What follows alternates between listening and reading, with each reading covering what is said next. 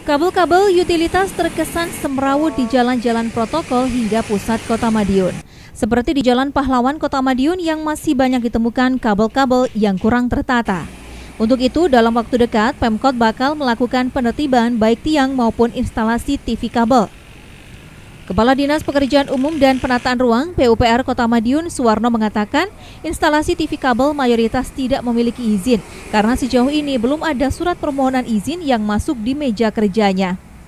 Penertiban bakal dilakukan pekan depan.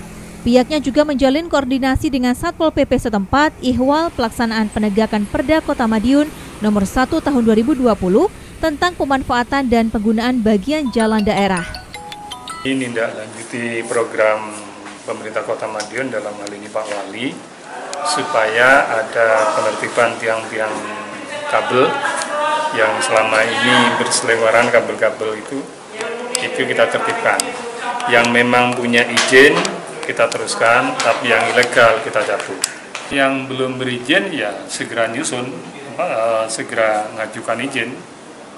TV-TV kabel yang jelas pada saat kita ada semacam apa uh, cek lapangan dia nggak berizin ya sama satpol nanti sesuai dengan perda ditegakkan perdanya itu.